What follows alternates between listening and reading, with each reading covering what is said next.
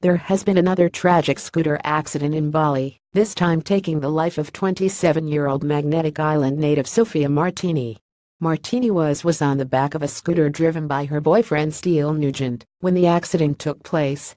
According to reports, Martini was thrown off the back of the bike when it crashed into the side of the road in Kuta in the early hours of Monday morning.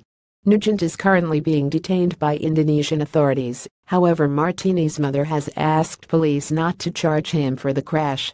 The news comes only a few months after 26-year-old Sydney woman Ellen Knights was killed in a similar accident in April. Two other Australians died in Bali late last year, with 16-year-old Lachi Connaughton and Victorian firefighter Adrian Newton both killed in motorbike accidents on the Indonesian island. Martini is being remembered by Magnetic Island locals as bright, beautiful and a big part of the Queensland community. A local gym, Maggie Island Boot Camp, wrote a tribute to Martini on its Facebook page. We will all miss Soph terribly, a shining light of fun and always smiling.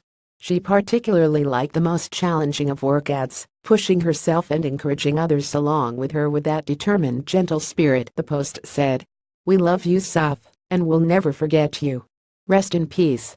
Despite the continual accidents, Indonesia was recently voted the most popular international destination for Australian tourists.